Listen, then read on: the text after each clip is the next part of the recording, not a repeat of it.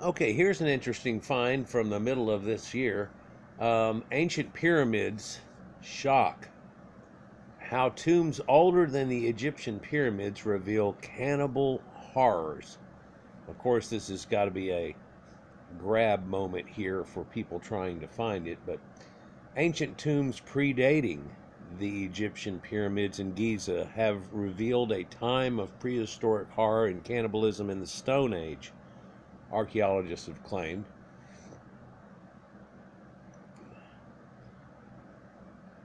And where this is is quite strange. For pyramid like structures hidden across north central Poland have stunned archaeologists with evidence of blood curdling Neolithic rituals. These so called Polish pyramids in the Kuyavian Pomeranian region are believed to predate the Great Pyramids of Giza by thousands of years. Archaeologists estimate the tombs were built between the 4th and 3rd millennium BC, making them at the very least a thousand years older than the Pyramid of Cheops, which was the time of the Stone Age or Neolithic when well defined cultures were emerging across ancient Poland. And uh, I've shown you recent videos, uh, let's see, going back in order, I guess, the island of Majorca, and that there's a pyramid built on there that they have strange dating on. But better than that, there's one up in Greece at Hierakonpolis that they use the same dating method on the Great Pyramid in itself, and it showed to be a little bit older, if not the same age, but possibly older than that. Now we're finding these pyramid structures, not in Sumeria, not there, but up in a Poland type of area. And they show something neat and different too, what I believe is a remnant of ramps. But uh, in, in one s- statement, they said that there are over 20 that have been found of these. So another guy said three but I think that was the actual excavation spot where right here within each other there were three right there and I think they're going to talk about those in this.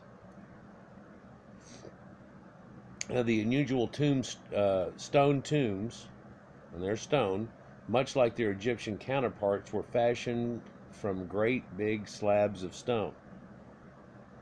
Right? But the comparisons in there because the Polish pyramids were neither as grand and were built flat across the land.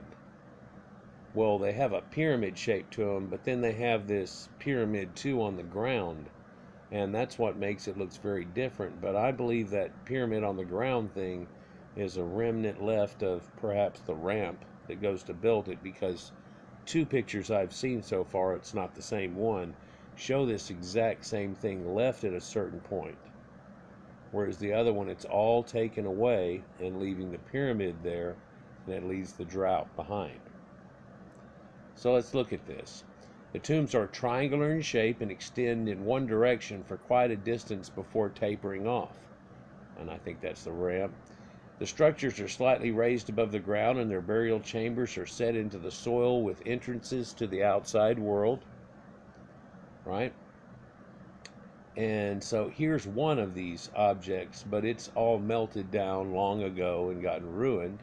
And they show this skull that goes with it here. But it tapers off and down here at the end.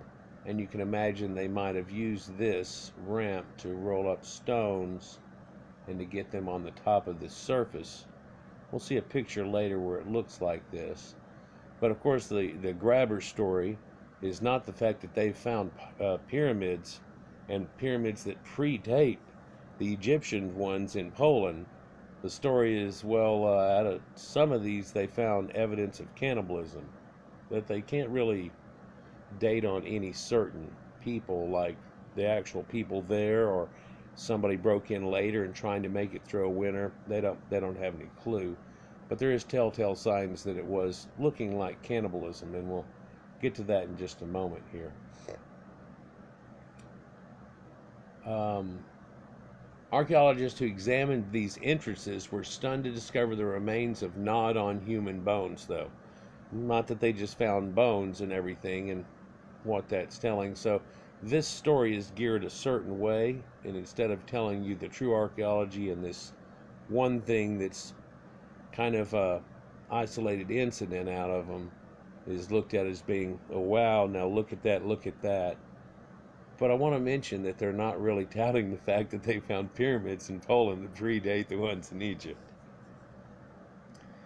And a few more clues from the past reveal the unfortunate denizens were likely eaten by whoever killed them. And so it may have they may have actually killed somebody and taken them into this ancient tomb and ate them and that those bones may not have even been the original inhabitant too. So they're going to have to get deeper into this, and I will look into it as it comes out and from a site other than this one with its directives. An information plaque from a historical site in the village of Whitesauriga. Yeah, I'm going to tear that one up. Whites. Let's see. Whiteserts. Kautsy. I, I, I know we're close. It's about 50 centimeters above the central grave. Another interesting cavity was discovered, it turned out. It was a dugout earthwork for a mass grave. So this might be where people are buried in conjunction with a ruler and so on like that, which is seen in the earliest Sumerians and the earliest Egyptian dynasties somewhat too. So the exact number of people buried there could not have been determined. The discovery bones uh, could have been blonde in two to nine individuals. Oh, it could have belonged to two or to nine individuals. I don't think they were blonde, but I bet there were some blonde people in that looking at the uh, area that they're talking about. So, what is surprising is one part of the bones was likely burned and intentionally broken, perhaps to gain access to the marrow. So this might have been somebody trying to save their life during the winter or something like that, or it could have been somebody who killed somebody else and then ate them all the way up and including the marrow. Who who knows? It's a little bit of uh, you know suggestive type things that's going on here rather than leaving it wide open. Signs suggesting biting or the tearing of muscles were also observed on two thigh bones. And I wonder if that does correlate to human bite type patterns. Surely it would be, or they wouldn't mention this. All of this could be interpreted as evidence of a cannibal feast or massed offering towards a deceased. The site is an archaeological reserve established in an area settled around 5,500 years ago. So apparently it was primordial to the site that later got set up 5,500 years ago, which would be 3,500 BC, at least predating the starting of Egypt by four or 500 years.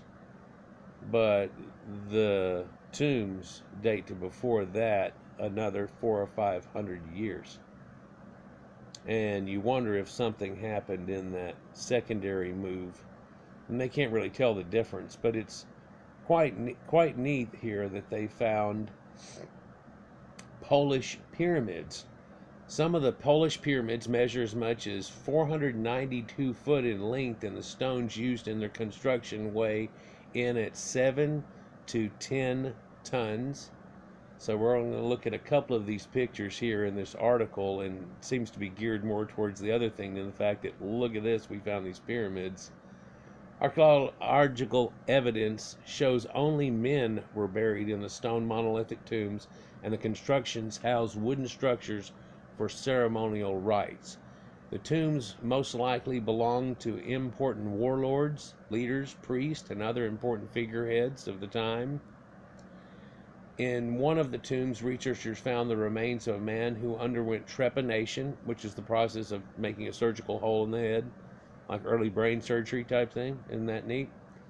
So you can look at this here too, and whenever they dug this all the way out, they had found the bones and everything, and they had taken all of the earthen mound and other stones all out of what built up this square here and thrown it out. And then if you'll look, they took dirt from all of this and threw it out too, looking through it and see how it goes on down, down, down. And uh, I think it's more like a ramp. We'll see a, another picture of one. The reserve's website states the deceased, a person high up in the tribal hierarchy, was buried in a straightened position at the helm of the tomb. So instead of them burying them on their sides and curled up, he looked like he was in a straightened position, like you see the Egyptians later. But in the pre-dynastic we and the uh, forms from around there, we definitely see them curled up in that primordial womb type of thing beforehand. Sometimes two to three individuals were buried simultaneously this way, so they're indicating they found quite a few of these. Pots and clay spoons, flint relics, arrowheads, and hatchets and war axes have survived to our times, so they put them in with a burial cache. The amount of effort put into raising these structures is undoubtedly evidence of a strong tribal bond in the social variety or existence of tribal leaders. Well, I think you can determine that. So here's one done of it, and you can see these giant stones that are brought into place. And no, they don't seem like they are lock a block into place with each other and stuff as these later stonework seems to be. But it also seems to be outside of the earthenworks. And perhaps there were stones at one time that were stolen. But we have to look into this much further. But if you look at this effigy here, what we have is a cut off the head top pyramid or a trapezoid, and then a ramp that literally runs down and off at the end. Yeah, and it tapers down from that. And then, so if this is just unfinished in some way, you would think that people were rolling them up here and building all of it. And uh, I know from experience you can build a house while standing on the slab and never really have to get off the slab. So you could stand up on this and build it inward and fill it up and inward and so on. It's fairly easy to figure out how to do it. It's a neat picture. Stone structures were flat but very long, so it's flat topped here, and a lot of the ones they found are flat topped, but isn't that amazing? Huh. Quick facts about the Egyptian pyramids. Archaeologists have discovered more than 130 pyramids across the sandy landscape of Egypt. The history of ancient Egypt is divided in the Old Kingdom, Middle Kingdom, and New Kingdom eras, and in between they have little mm, intermediate periods, as they call.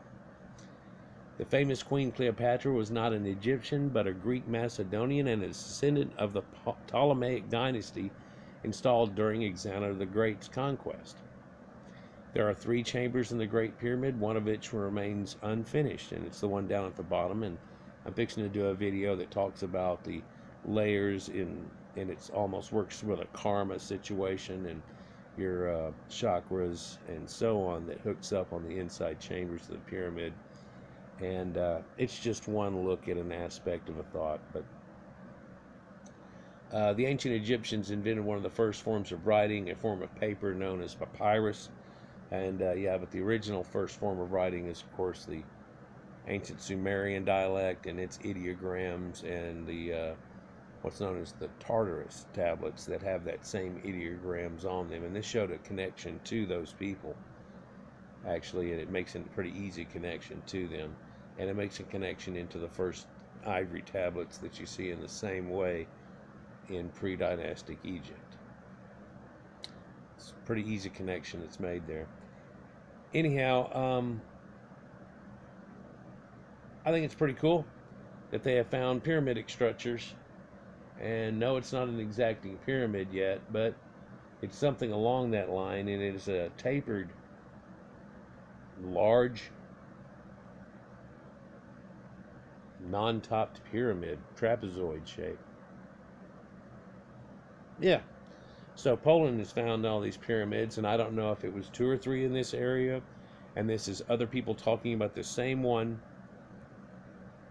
And this is the picture of that same one that's dug out later.